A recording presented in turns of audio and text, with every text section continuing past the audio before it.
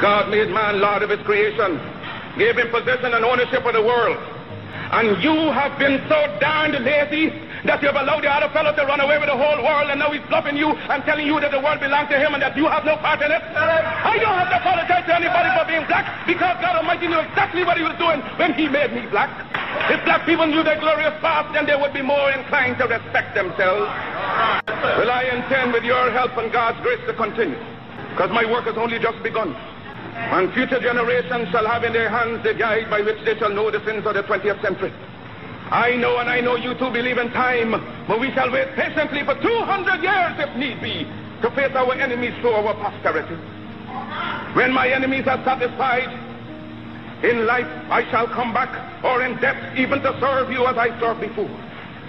In life I shall be the same, in death I shall be a terror to the of